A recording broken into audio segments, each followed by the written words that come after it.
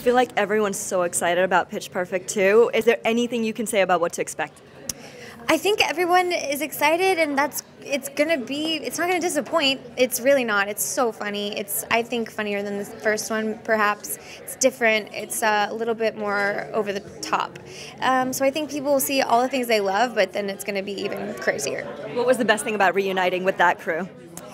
Getting to hang out with my friends again. I mean, we're all so close, so it was just getting to go to work and goof off and try to film some stuff, but mostly just making each other laugh.